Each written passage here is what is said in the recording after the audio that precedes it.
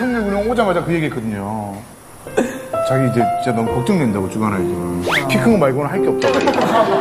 성렬이가 네. 네가 한 게 왜 없냐 그때 와가지고 이 바닥을 휘저으면서 얼마나 춤을 췄니 레전드로 남아있어요. 레전드로 남아있는데 오늘 그것만 한 시간 해도 되는데 아니 이게 진짜 슬럼프에 빠졌나 봐요. 막 하는 것마다 되는 게 없어요 요즘. 어 어떤 걸 해봤는데 근데 슬럼프는 좀 잘 된 사람들한테 오는 거 아닙니까? 계속 슬럼프였는데.